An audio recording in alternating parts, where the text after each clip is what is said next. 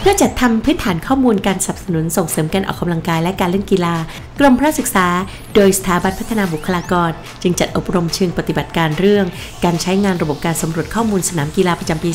2561ระหว่างวันที่ 11-13 กรกฎาคมนี้และโรงแรมริเวอร์อำเภอเมืองจังหวัดนครปฐม ติดตามกิจกรรมดีๆเพื่อสุขภาพด้วยการออกกำลังกายได้ที่ Facebook Fanpage กรมพระศึกษา หรือที่ www.dpe.go.th